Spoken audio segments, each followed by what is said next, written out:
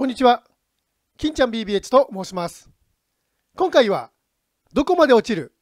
ソフトバンクグループの株価の動き、予想してみたといった内容で情報発信をしていきたいと思います。ソフトバンクグループにつきましては、皆さんご存知のようにですね、えー、孫正義氏が、もともと韓国にですね、非常に縁の深い方でありまして、また同じようにですね、非常に韓国にまどっぷり使ってしまっているですね、えー、みずほ銀行ですね、みずほ銀行がまメインバンクでもあるんですよね。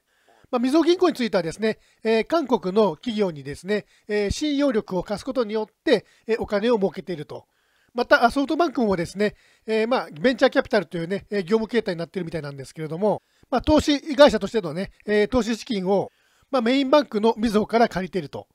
まあ、運命共同体一連卓上のですね、えー、ソフトバンク、みずほ銀行、韓国がですね、今ね、えー、結構やばい状況にあるということで、えー、株価を分析してみました。本動画をご視聴される上での注意事項になります。ご確認ください。えー、本動画の構成について簡単にご説明いたします。まず、銘柄分析でファンダメンタルズとテクニカル分析を実施した後、その流れで値動きを予測していきます。銘柄分析の分析内容を基盤に値動きのイメージを組み立ててきますので、値動きの根拠について正しく理解していただくためにも、最後までご視聴いただければと思います。それでは早速、銘柄分析から入っていきましょう。まずは、ファンダメンタルズから確認をしていきます。ソフトバンクグループは、時価総額5兆6153億円の対策銘柄で、特色といたしまして、携帯電話で日米展開、傘下に Z ホールディングス、イギリスアーム、10兆円ファンド、持ち分に中国アリババであります。また、不動株率につきましては5.8%であります。ファンダメンタルズの確認については以上になります。続いて、テクニカル分析に入っていきます。現在ご覧のチャートは、2020年3月19日現在のソフトバンクグループの手話チャートになります。まずは RSI から確認をしていきましょう。RSI につきましては、現在25.48%ということで、えー、そろそろですね、えー、売られすぎ水準の20%に差し掛かりそうなね、えー、状況となっております。でソフトバンクグループがですね、えー、過去、まあ、20%ですね、売られすぎ水準まで到達した場合のにね、えー、どういったプライスアクションを起こしたかといいますと、まあ、こんな感じなんですよね。えー、まあ、あの一応ですね、20%を下回ってくると、まあ、ほぼですね、えー、と切り返してくるケースが多いということで、えー、今回につきましても、まあ、そろそろですね、え反発があるのかなと分析をしております。RSI の分析については以上になります。続いて、信用残の分析に入っていきます。え当チャンネルの動画を初めて見られる方もね、いるということで、え今回ですね、え若干この信用残について補足をしていきたいと思います。一応こちらにですね、えー、まあ、あのどういったものかっていうのが出てるんですが、これ割とですね、まあ、専門のところがあるので、えー、もうちょいですね、噛み砕いて話していきたいと思います。まあ、信用残というのはですね、平たく言いますと、まあ、借金をして、えー、レバレッジを効かして、え株の売買を行っている株の残高のことを指すんですよね。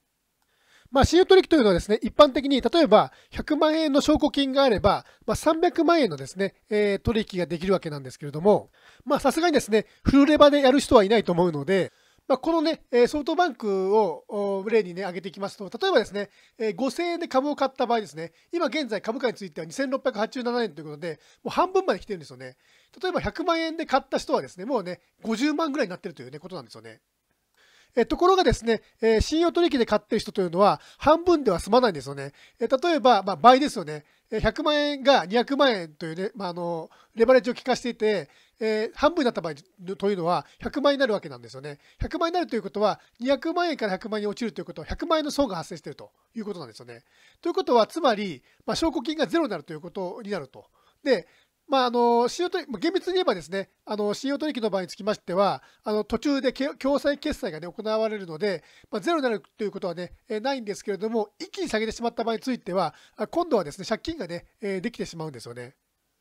まあ、そういった、まあ、心理的プレッシャーを受けているのが、まあ、信用買いとかね、信用売りの人たちということなんですよね。ま、例えば、信用買いの人はですね、え下げ相場になってくると苦しくなって、え、まあ、お衣装回避の、まあ、強制決済がされていくんですよね。で反対に、空売りで入っている人というのは、まあねえー、株が上がってしまいますと、まあ、損が、ね、大きくなってくるのでですね、大きく上げた時点で、えー、強制決済という、ね、形になります。まあ、なのでですね、え例えば空売りを狙う人ですね、空売りを狙う人というのは、まあ、信用改ざんがすごい溜まってる銘柄を狙うと成功しやすいですよね。まあ、反対にですね、えーとまあ、買いを狙う場合については、あのまあ、チャートがね、上昇トレンドで空売りがたくさん入ってる銘柄ですね、それを狙っていくと、まあ、成功しやすいですよね。まあ、そういった状況で表した表がですね、この信用残というね、表になります。まあ、ということでですね、えー、赤いラインが信用改ざんで、黄色いラインがね、えー、信用売り算ということで、えー、まずですね、信用改ざんからね、分析をしていきます。まあ、信用改ざんのね、えまあ、水準を過去の水準と比較をしていきますと、今の水準につきましては、まあ、ややね、えまあ、高水準なのかなと分析をしております。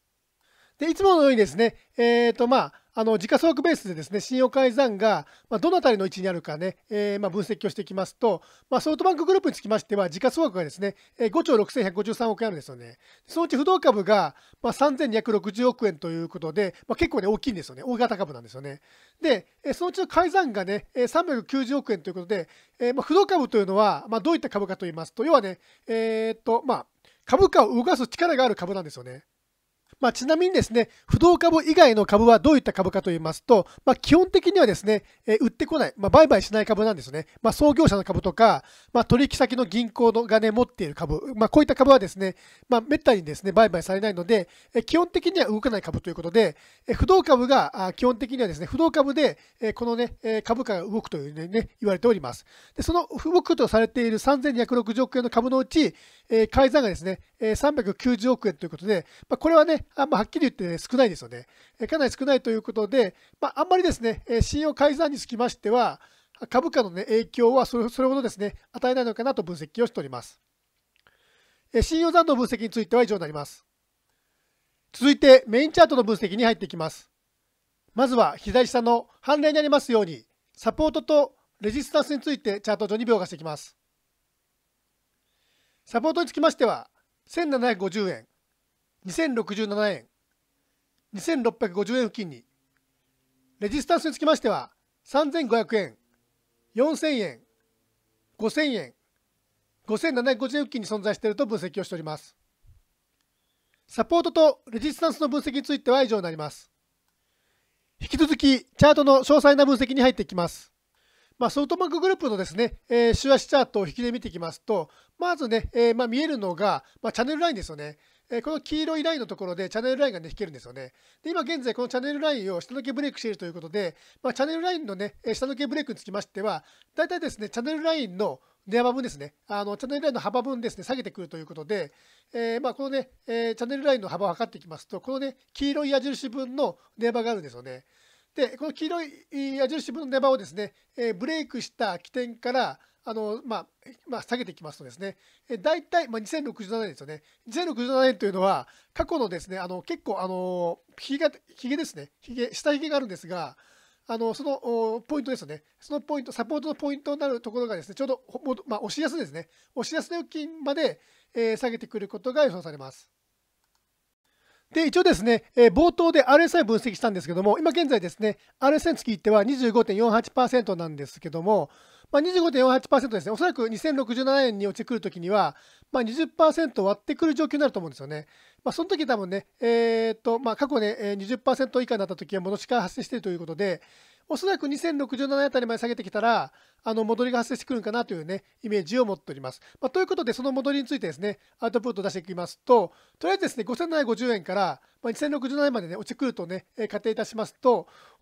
まあ、そのね、えー、下落幅につきましては、まあ、3683円なんですよね。で3683円から、まあ、ここからね、戻りが発生してくるとイメージしますと、まあ、大体ですね、えー、まあ、3分の1戻りというのは、まあ、0.4掛けということで、えー、まあ、あのね、えー、3540円付近ですよね。で、えー、で、まあ、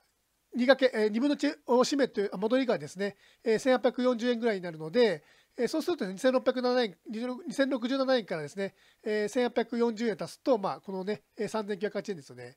であと、まあ、戻り3分の2戻りがですね、えー、まあ、4270円ということで、えこのぐらいまでね、えー、申してくる可能性があるのかなというね、イメージを持っております。えただですね、ソフトバンクグループにつきましては、ま、ベンチャーキャピタルで一応ね、投資を行ってるんですよね。で、今現在世界不況になっているということで、え投資先がおそらくですね、ほとんどがあ含み損になっていると思うんですよね。えということで、あのこの戻りまでね、戻らない可能性があるということで、えー、さらにね、えー、まあ、低い戻りですね、0.236戻りだと、まあ、2930あたりの戻りで、えー、終わるのかなというね、イメージを持っております。ソフトバンクグループのテクニカル分析については以上になります。引き続き、値動き予測に入っていきます。え当初ですね、え上昇する場合の値動き予測からですね、イメージしていきたいと思います。まあ、とりあえずですね、1回ですね、えー、まあ、2067年まで落ちると仮定いたしまして、そこからですね、もみ合いが発生すると思うんですよね。もみ合いか、そのまま戻りが発生するかもしれないんですが、もみ合いが発生する場合につきましては、2067年から、まあ、3000あたりのね、幅でもみ合ってくるんではないのかなというイメージを持っております。まあ、その後ですね、このもみ合いか、もしくはね、戻りをね、上抜けした場合については、まあ、3000、まあ、4000ですね。あ、3500円か。3500円付近まで戻してから、1回ですね、押し目を作ってくると思うんですよね。でそこから押し目でですね、えこのもみ合いかなんかのね、ポイントですね、えー、を下抜けなければ、下抜けずにですね、え当時の高値を抜いてくれば、4000円付近ですね、3900何本のね、えー、まあ、あの、3908円かな。3908円の、あのー、まあ、2分の1戻り付近までですね、え戻してくると思うんですが、そこからもみ合いになってですね、このもみ合いを上抜けした場合については、まあ、5000円ぐらいまでね、え戻してくるんではないのかなというイメージを持っております。続いて下に動く場合につきましては、まあ、2067円をですね、まあ、もみ合いを終えて割ってくる場合なんですよね。割ってきた場合については、おそらく1750円と2000円の間でぐらいでですね、もみ合いが発生して、このもみ合いを下抜けした場合についてはですね、えー、1000円あたりまで落ちてくるんではないのかなというね、イメージを持っております。もうこっから下はですね、さすがにないんではないのかなというふうに思ってるんですが、えー、もしかしたらですね、えー、もう本当に倒産ということになったら、ここから下あるかもしれないという分析であります。本日の分析については以上になります。最後までご視聴ありがとうございました。